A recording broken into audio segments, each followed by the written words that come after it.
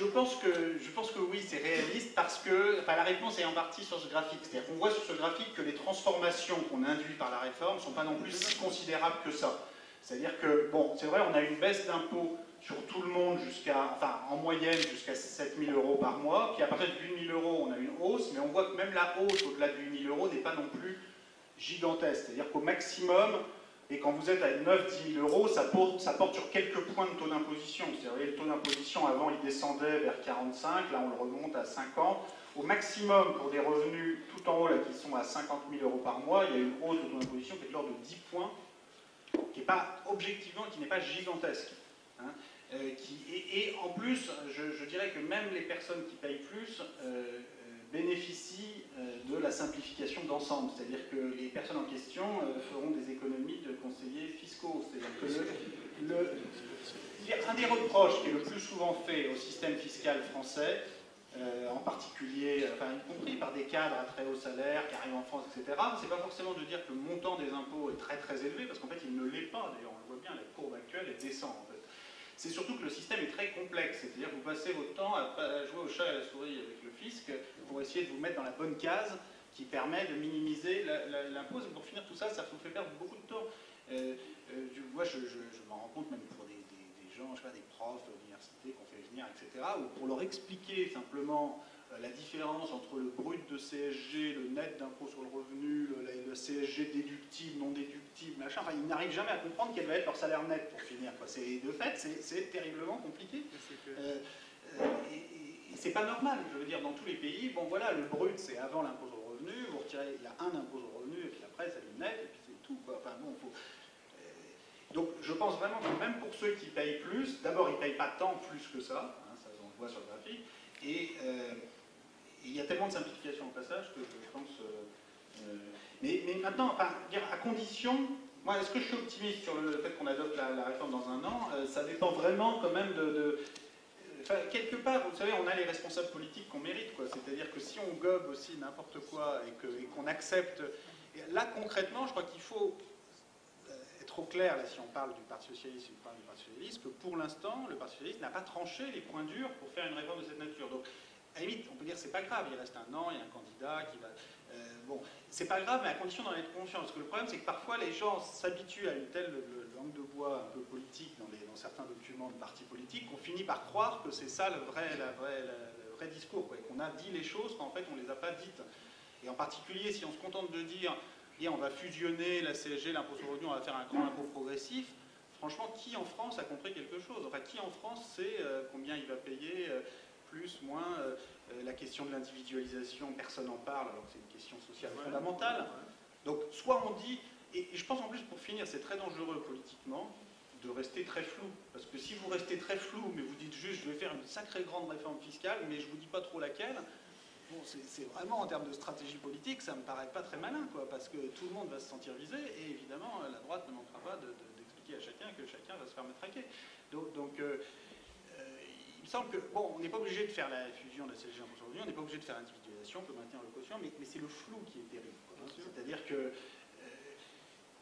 voilà, quoi, il y a plein d'autres choses à faire dans la vie qu'une grande réforme fiscale, mais, ça ne sert à rien de faire croire qu'on va en faire une si en fait on, s'apprête à garder deux impôts séparés, parce que pour toutes sortes de, bonnes raisons, maintenir le quotient conjugal, maintenir la CSG, bon, mais, il faut, à un moment, il faut dire les choses, et pour l'instant, elles n'ont pas été dites. Non, c'est pour ça qu'on fait ça ici à Ponto Combo, pour qu'elle soit dite, que les gens soient informés, que justement ils ne copent pas n'importe quoi. Vive Ponto Combo, madame. argumentaire, il y avait deux points. Parlez dans le micro, s'il vous plaît. Donc, argumentaire, il y avait un deuxième point.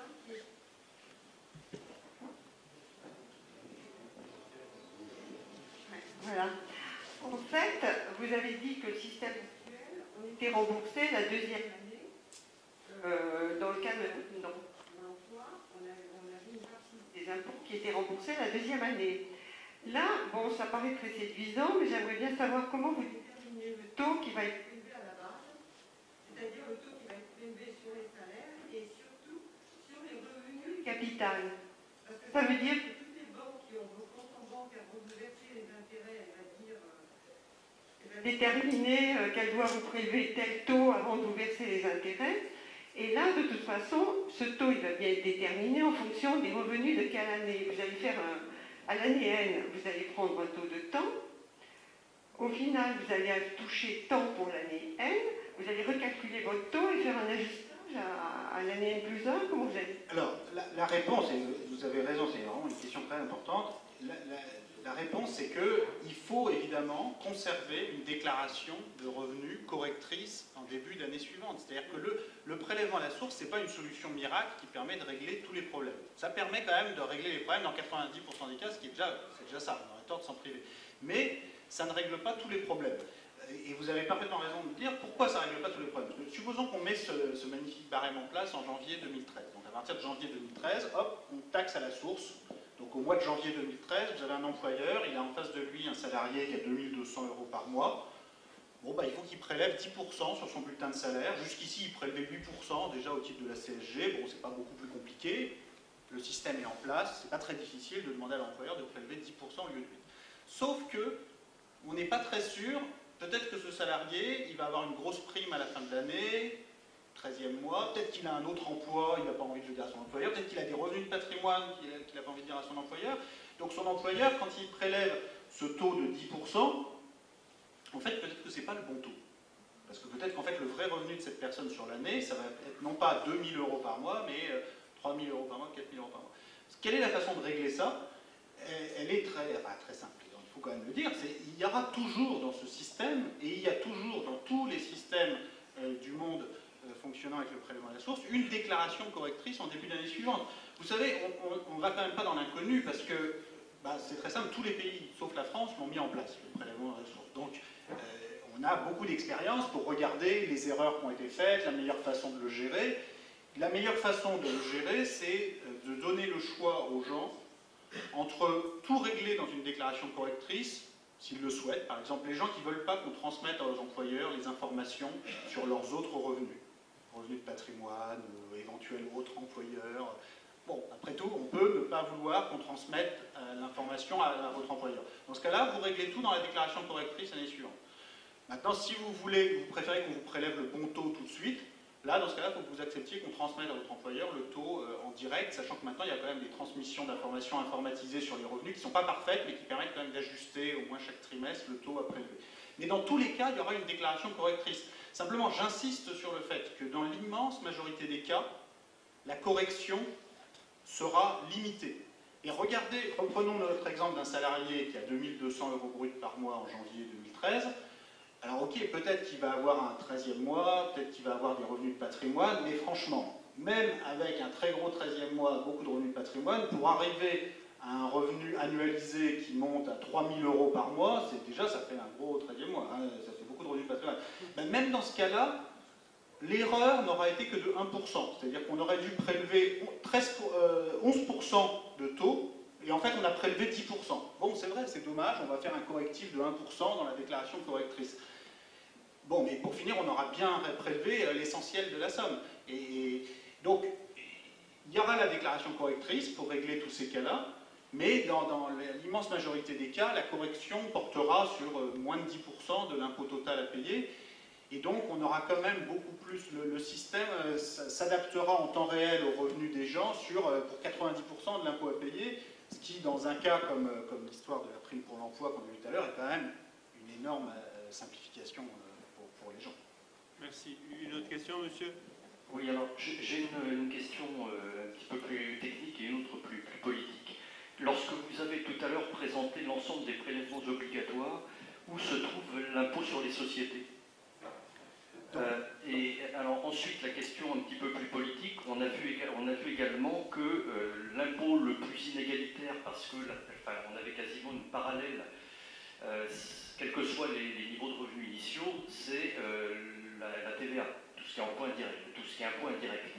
Est-ce que vous avez envisagé, ou est-ce qu'il est envisageable, dans un souci d'équité et de justice, puisque c'est ce que vous avez énoncé, de, revoir cette proportion entre des impôts qui seraient des, impôts sur les revenus et des impôts qui sont des impôts sur la, consommation euh, seconde, question. Euh, alors, là, on, est, en. Même si vous avez fait des, références à d'autres systèmes et d'autres modalités de, prélèvement de l'impôt, euh, on, est dans l'Union européenne, qui est essentiellement euh, libéral et très peu social, et dans ce système-là, il y a un système de concurrence, circulation des capitaux, etc. en quoi, au sein d'une union relativement intégrée qui semble l'être de plus en plus, on peut avoir des systèmes fiscaux qui sont aussi différents les uns les autres et dans quelle mesure c'est gérable. je sais bien que la Suisse ne fait pas partie euh, de l'Union européenne, ceci dit, on peut aussi parler des paradis fiscaux, euh, et puis des pays qui ont le double statut, Union européenne et paradis fiscal, je parle par exemple du Luxembourg. Merci monsieur. Alors, très, très rapidement, les trois points. L'impôt sur les sociétés, il est pris en compte dans la, catégorie qu'on appelait impôt sur le capital, dans lequel il y a à la fois l'impôt sur les sociétés, qui de fait est payé par les titulaires de dividendes, puisque y a fait moins de profit avant de distribuer des dividendes aux actionnaires, payez l'impôt sur les sociétés sur les bénéfices de votre société. Donc il est attribué en fait aux individus en pourcentage de leur portefeuille en actions, pas pour ceux qui en ont, mais dans la base de données, on a les individus, on a la structure de leur patrimoine, de leur portefeuille, donc il est, réimputé à, ce niveau-là. Donc il est pris en compte dans la catégorie, séparément, mais dans la grande catégorie qu'on appelle l'impôt sur le capital, dans laquelle il y a aussi l'impôt sur la fortune, qui dépend aussi des patrimoines individuels, et euh, les droits de succession, enfin les différents impôts qui sont dans cette catégorie, qui reposent uniquement sur les détenteurs de patrimoine. Si vous n'avez pas de patrimoine, vous n'en payez pas. Donc c'est pris en compte à ce niveau-là qui est une nouveauté hein, d'un point de vue technique et méthodologique. C'est vrai que le fait de bien répercuter sur les individus absolument tous les impôts, y compris les impôts, sur les sociétés, c'est quelque chose qui n'avait jamais été fait euh, jusqu'au bout à ce point, même si dans le fond, tout le monde savait déjà hein, que, pour finir, tous les impôts sont payés par des personnes. Hein. Rien à faire. On peut toujours euh, retourner dans tous les sens. Les entreprises, elles ne peuvent que répercuter soit sur les consommateurs, soit sur les salariés, soit sur les actionnaires, qui en dernier recours sont toujours des personnes éventuellement des personnes à l'étranger, mais en même temps, il faut bien avoir en tête que les Français, à travers leur portefeuille en actions, en assurance vie, possèdent autant à l'étranger que l'étranger ne possède en France. Hein. donc en moyenne, on n'est absolument pas possédé par l'étranger. Hein. Parfois, il y a beaucoup de fantasmes là-dessus. Et les Français possèdent autant à l'étranger que l'étranger possède. Euh, donc l'impôt sur la société, au final, il est payé par, des détenteurs de patrimoine euh, euh, français notamment. réduire le poids de la TVA, augmenter le poids de l'impôt sur le revenu, bon, pourquoi pas à terme Encore faudrait-il commencer par avoir un outil impôt sur le revenu qui est euh, accepté et qui cesse de baisser. C'est-à-dire qu'actuellement, la, tendance, il faut bien se rendre compte, c'est que la tendance, c'est euh, plutôt la tendance inverse. Donc moi, j'aimerais déjà stopper la tendance inverse, qui est l'hémorragie de l'impôt sur le revenu. Hein, il faut quand même se rendre compte... Euh, bon, j'ai pas le temps de, montrer vraiment les graphiques, mais les recettes de l'impôt sur le revenu, actuellement, on a dit, elles sont deux fois plus faibles la CSG, c'est-à-dire l'impôt sur le revenu, c'est seulement 2,5% du PIB, hein, sur un total de presque 45% du PIB de prélèvement obligatoire, c'est seulement 2,5% du PIB, l'impôt sur le revenu. Bon, il y a 30 ans, il y a encore 20 ans, c'était 5% du PIB environ. Car on a un impôt dont le poids relatif à la richesse produite en France a été divisé par deux en 20 ans. Donc on a une hémorragie je veux dire, moi, mon travail comme chercheur, c'est plutôt de travailler sur l'histoire des impôts que sur les impôts d'aujourd'hui. Et dans l'histoire, quand vous avez un impôt comme ça, dont le poids est divisé par deux euh, en 20 ans, alors que, enfin, si c'était que tous les impôts avaient été divisés par deux, ce serait normal, mais évidemment, les prélèvements obligatoires dans leur ensemble n'ont pas du tout été divisés par deux. Ils ont même légèrement augmenté ou se sont stabilisés. c'est uniquement cet impôt-là qui a été divisé par deux. Euh, donc, moi, je souhaite d'abord réussir à, contribuer à mettre fin à ça. C'est-à-dire que il faut bien se rendre compte que ça fait 30 ans en France que tous les gouvernements, euh, qu'ils soient de droite ou de gauche, euh, soit baissent l'impôt sur le revenu, soit n'y touchent pas. Mais personne ne le réaugmente. Hein. Alors la, droite, il faut bien le dire, c'est attelé avec une belle constance au démantèlement de l'impôt sur le revenu. À chaque fois, est au pouvoir, à réduire les, les barèmes d'imposition, à créer des nouvelles niches. Mais la gauche, à chaque fois qu'elle a été au pouvoir, que ce soit de 88 à 93 ou de 97 à 2002, bon, avant les élections, on disait oh là là, c'est très mal, c'est baisse d'impôt sur le revenu de la droite et tout, et nous on adore, on veut un grand impôt progressif, etc. Mais au pouvoir, n'est jamais revenu sur les baisses d'impôt sur le revenu euh, de la droite. Hein. Nouveau, ni, ni sous Rocard, ni sous Jospin, et même a fini sous Fabius par en rajouter une louche et rajouter des baisses d'impôt sur le revenu. Alors moi je m'étais un peu discuté à l'époque avec Laurent Fabius, euh, ministre des Finances, sur ce sujet. Bon là avec 10 ans de recul, c'est pas, je ne sais pas si je suis devenu plus sage, mais je pense que je pense que ça dépasse les personnes. je pense que ce n'est pas le problème de Laurent Fabius. Quand vous avez sur 30 ans tous les gouvernements successifs qui réduisent l'impôt sur le revenu, en tout cas qui ne le réaugmentent jamais, c'est parce que cet impôt est à l'agonie Et, je pense que c'est bien pour ça qu'il faut une solution assez radicale pour refonder l'impôt sur le revenu. Euh, si il est à l'agonie, c'est parce qu'il est tellement mité par les niches fiscales, par les exceptions de toutes sortes, qu'il est devenu profondément impopulaire et on ne peut le réformer qu'en le réduisant sans cesse davantage. Et donc il faut repartir à zéro, à partir quand même, bon, on est des révolutionnaires fiscaux, mais en même temps, on part quand même de ce qui existe. Hein. on n'est pas là à renverser la table. C'est la CSG, ça existe, ça fonctionne, le prélèvement à la source sur la CSG. Nous, tout ce qu'on fait, c'est finalement le taux actuel de CSG de 8%, on le fait passer à 10% à 2200 euros, 5000 euros. Donc, mais si déjà on arrivait à faire ça, je suis sûr que ce serait déjà. Puis après, dans un deuxième temps, si cet impôt sur le revenu est bien accepté, on peut expliquer démocratiquement, essayer de convaincre démocratiquement le fait qu'on pourrait réduire. Euh, la TVA est plus reposée sur cet impôt-là. Mais euh, chaque chose en son temps. Si déjà on pouvait faire ça. Euh, il, y a, une autre question au fond, il y a un monsieur au fond. Oui, sur l'Union européenne. L'Union européenne et puis en fait les, distorsions euh, entre les différents pays. Donc c'est facile de dire il faut la liberté de circulation des capitaux. ceux qui circulent, c'est plutôt ceux des tranches supérieures d'ailleurs, comme par hasard. Mais, mais oui, alors, alors y a, très, très, rapidement, il y, a des, il, y a, il y a des sujets fiscaux, comme par exemple l'impôt sur les sociétés, sur lesquels on peut agir qu'au niveau européen.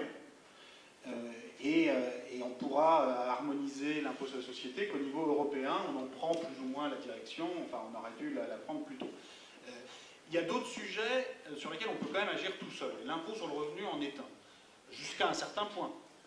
Euh, mais vous voyez, il ne faut pas non plus, trop souvent, faut pas, on utilise l'Europe un peu comme une excuse parfois pour ne pas faire les réformes qu'en France on peut faire tout seul. C'est-à-dire simplifier notre impôt sur le revenu, fusionner la CSG et l'impôt sur le revenu, on peut le faire tout seul.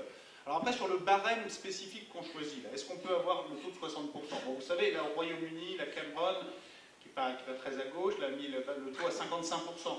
Hein, donc c'est pas, n'est pas, euh, pas très différent. Bon, et, nous, on est absolument convaincus euh, sur la base de toutes les études qu'on a sur la, mobilité du travail et du capital, que c'est certainement pas un différentiel comme ça de 5% qui va faire que, tout le monde va, déménager. Enfin, c'est parfaitement tenable vu toutes les on dispose, parce que dans le fond, c'est pas très différent comme type de taux de ce qui se fait ailleurs. Et cette idée qu'en France, on matraque les plus hauts revenus, c'est faux. Hein. C'est-à-dire, si on regarde la courbe des prélèvements effectifs, en pratique, ça diminue plutôt pour les, plus hauts revenus. La particularité du système français, c'est plutôt sa complexité. Mais en termes de progressivité réelle, c'est assez faible. Donc là, c'est la réponse que je faisais tout à l'heure euh, sur le fait que même les, plus riches bénéficieront de la simplicité.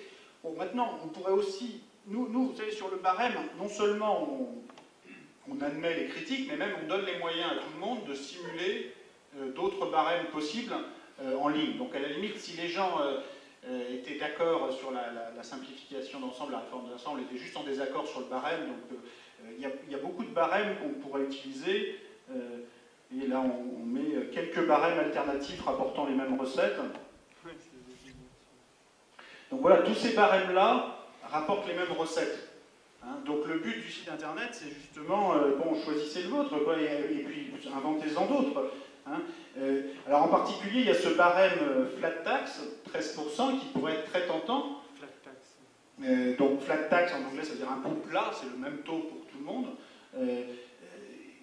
bon, le problème de ça, c'est que ça ferait quand même un très gros choc de revenus au niveau du SMIC, hein, parce qu'actuellement, vous êtes à seulement à 8% de CSG, et en fait, on vous en rembourse les trois quarts avec la prime pour l'emploi. Donc là, vous rajouteriez 13%, vous prendriez un mois et demi de salaire à tous les, tous les tout ça, entre 1500 euros, c'est un, peu, un peu violent comme programme fiscal.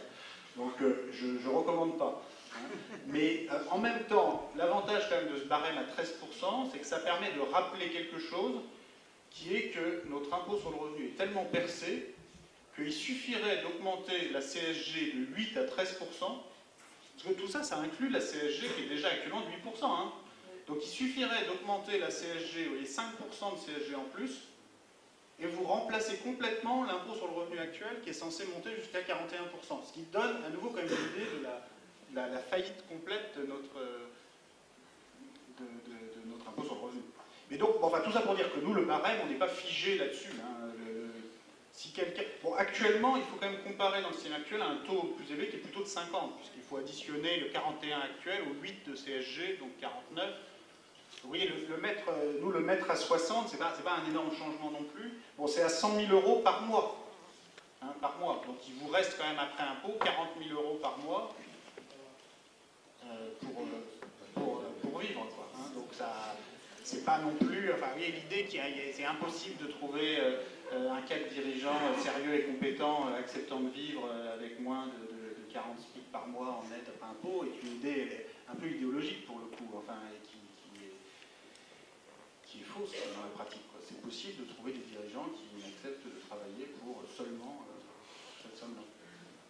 J'aurais juste une remarque sur ce dernier point, parce que je le fais assez souvent, c'est de dire, et quand bien même il y en aurait, et quand bien même il s'en irait, est-ce qu'il faut faire une réforme d'impôt par rapport à 10 ou 20 ou 30 personnes qui, de toute façon, partiront peut-être pour d'autres raisons que de par ailleurs? On prend, la, question, il va vous répondre, on prend la question de, monsieur au fond qui attend depuis un moment. Il nous reste 5 minutes. Hein. Ça, je juste savoir si vous appliquez les mêmes barèmes pour les actifs et pour les retraités et pour les chômeurs. Ah oui, oui. Par exemple, euh, les, retraités et les chômeurs ont un taux de, CSG plus petit. Oui, non, là c'est pas pour tout le monde. Ce qui est, ça, fait, ça fait partie aussi. Et, les hmm. retraités euh, qui sont non imposables donc, euh, si vous appliquez le même taux, pour eux, c'est moins, moins avantageux. Non, non, au contraire. Les, alors les basses retraites vont beaucoup y gagner dans notre histoire. Vous savez pourquoi? Parce que peut-être qu'ils vont perdre cet avantage qu'ils ont sur la CSG, mais par contre, ils vont de fait bénéficier de la prime pour l'emploi qui est intégrée dans le barème. Qu'actuellement, ils ne bénéficient pas de la prime pour l'emploi, les retraités, parce que c'est uniquement sur les revenus d'activité la prime pour l'emploi. Vous savez, le système actuel, c'est complètement mité justement par toutes sortes d'exceptions. C'est-à-dire, d'un côté, vous allez avantager les retraités par rapport au salaire à, niveau équivalent au niveau de la CSG. C'est-à-dire si vous avez 500 euros de salaire, vous payez la CSG plein pot, mais 500 euros de retraite, vous ne payez pas la CSG plein pot. Mais par contre, si vous avez 500 euros de salaire, vous touchez la prime pour l'emploi, et 500 euros de retraite, non. Bon, tout ça, ça ne tient pas la route. On va faire, là, on applique à revenu égal, impôt égal, que ce soit des retraites, des salaires, des revenus de patrimoine c'est pour tout le monde pareil. Et concrètement, toutes les basses retraites ou tous les bas salaires euh, euh, y gagnent. Et en fait, même les basses retraites, un peu plus que les bas salaires, euh, parce, que, parce que en fait, la prime pour l'emploi est, un avantage actuellement pour les bas salaires beaucoup plus important que l'avantage sur la CSG. On, prend les deux questions, madame, puis monsieur, puis monsieur Piquet-Tiré.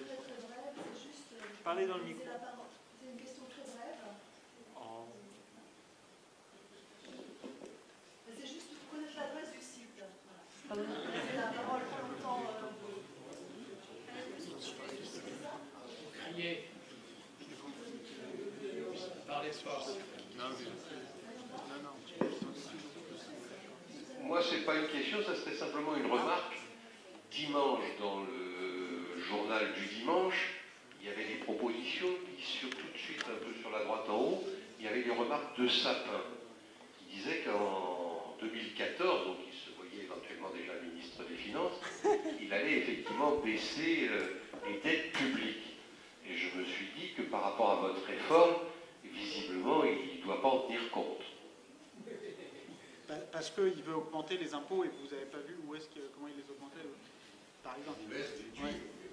Bah, non, mais moi je, suis, aussi pour réduire les dettes publiques. C'est juste. Euh, c'est vrai que pour l'instant, le Sapin ou les autres partis socialistes n'ont pas, dit. Euh, disons, comment dire les choses. Enfin, ils n'ont pas été complètement détaillés sur comment, ils, récupéraient tout ça. quand même, non, il y, a un truc sur lequel je pense que tout le monde devrait être d'accord. C'est que. Euh, vous savez, une partie du déficit va quand même se régler naturellement. C'est-à-dire qu'une partie du déficit public très fort en 2009-2010, c'était vraiment euh, l'effondrement d'une partie des recettes fiscales liées à la crise. Et ce n'est pas, que les dépenses publiques se soient mis à augmenter de façon faramineuse. On ne s'est pas mis comme ça à dépenser l'argent public sans compter. Hein, c'est pas ça. C'est vraiment que les recettes se sont effondrées. Alors en particulier, c'est vraiment un sujet notamment d'impôt sur les sociétés. C'est pour ça que les réformes, les, questions de l'harmonisation européenne sur l'impôt sur les sociétés pour les années qui viennent sont absolument centrales. Parce que c'est vraiment les recettes de l'impôt sur les sociétés en France, notamment, qui se sont complètement effondrées, qui étaient de 50 milliards d'euros avant la crise, et qui sont tombées à 20 milliards en 2007, qui est vraiment... Bon, c'est normal que les recettes de l'impôt sur les sociétés chutent en récession, et que d'une certaine façon, la puissance publique assure un peu les entreprises euh, face, au, face au choc. Ce serait, bête de demander aux entreprises de payer autant d'impôts quand ça va très mal que quand ça va bien. Mais là, quand même, on a été au-delà de, de toute euh, ce qui est de l'assurance. Dire, même les dividendes versés ont augmenté en 2009 par rapport à 2007. C'est-à-dire qu'on a tellement assuré les entreprises que, pour finir, on a augmenté les dividendes versés en récession, ce qui là, vraiment, ne- on marche sur la tête. Là. Donc, ça, il va falloir que les recettes de société retrouvent le plus vite possible leur niveau euh, au mois d'avant-crise. Et le, sujet de recettes fiscales en, en- en 2012-2013, ce sera d'abord ça, euh, plus que l'impôt sur le revenu des personnes, sur lequel euh, personne va aller, euh, va aller augmenter de 10 milliards ou 15 milliards l'impôt sur le revenu des personnes. Enfin, les gens, les gens ne, n'en voudront pas, et je pense qu'aucun responsable politique ne fera ça, donc euh, autant, euh, autant justement être clair là-dessus et ne pas, euh, euh, ne pas faire peur inutilement euh, euh, là-dessus, ce qui, ce qui est un peu, là, je pense, le risque avec la stratégie de- actuelle, là, pour, pour l'instant, du Parti Socialiste, de ne pas, trop, de pas trop être très précis, ça peut finir à faire peur à tout le monde. D'accord. Euh, monsieur? Oui. Euh, question un peu Parlez politique. bien dans le aussi. Oui, un peu politique aussi.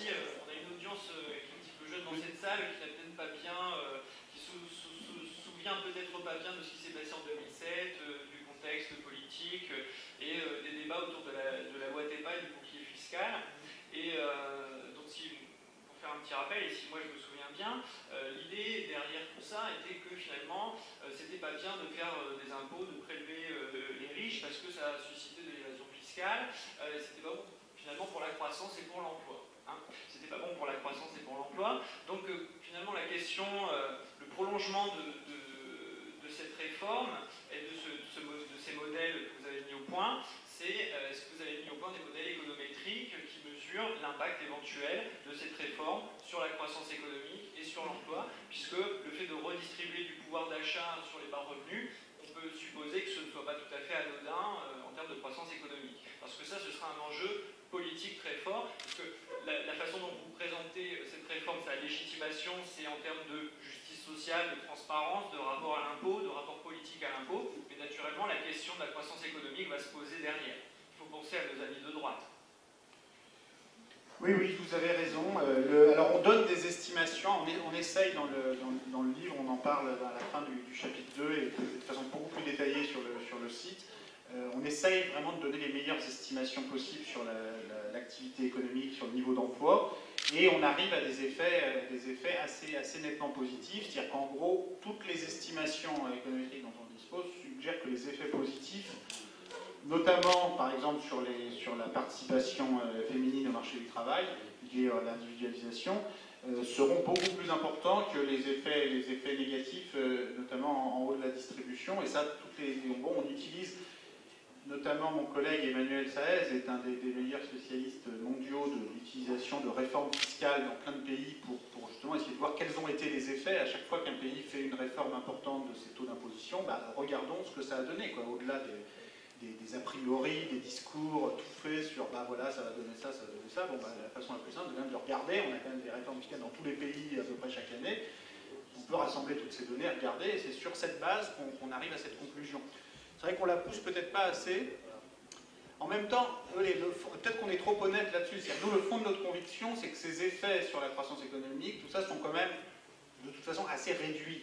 Ils vont être plutôt positifs, certainement pas négatifs, mais ils ne sont pas non plus gigantesques. C'est-à-dire que la vérité, c'est que bon, la croissance économique, le fait que, euh, le fait que les pays riches euh, soient plutôt dans, un- dans un- dans une phase historique de croissance faible où on va se faire rattraper euh, par les pays moins riches, ça, c'est pas notre réforme qui va changer quoi que ce soit. Il faut être clair. Donc nous, c'est vrai qu'on peut-être trop honnête sur le thème. Attendez, on va pas vous vendre la lune, la super croissance, machin. On va, on va juste essayer déjà de simplifier les impôts, soit plus démocratique, plus juste, plus lisible. Bon, mais maintenant, peut-être que voilà, les autres n'ont pas forcément les mêmes scrupules et vont toujours vendre leurs réformes comme formidables pour la compétitivité du pays, la croissance, tout ça. Bon, moi, je, pense vraiment que la, la chose la plus importante pour la compétitivité du pays, c'est la simplification fiscale, la lisibilité du système. Que l'accumulation invraisemblable de niches, de règles dérogatoires, c'est juste le meilleur service qu'on puisse rendre à l'environnement économique, aux entreprises, c'est d'avoir un cadre simple, tous les revenus taxés de la même façon.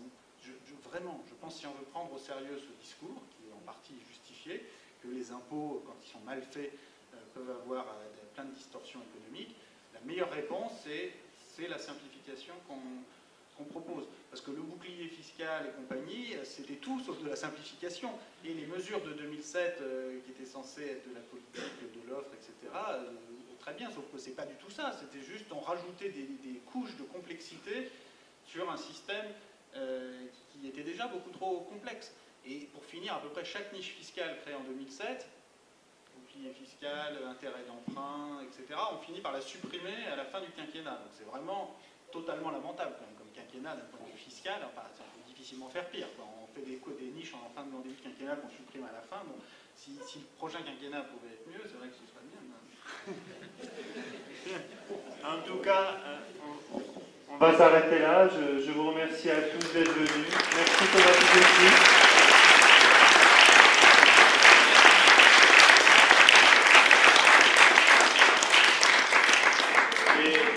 je tiens vous rassurer, il y aura beaucoup d'autres débats, la dette publique, l'emploi, la croissance, on y reviendra en complément de ce, ce débat-là. Merci à tous. Au revoir.